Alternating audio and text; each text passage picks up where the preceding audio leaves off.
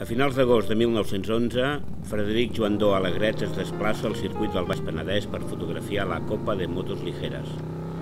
Durant tot el dia hi ha carreres i competicions. Al matí es fa la prova de quilòmetre llançat, en què participa Jaume Duran, sobre una moto model Alcyon. Hi ha molta expectació, perquè Duran ha guanyat diverses carreres amb anterioritat.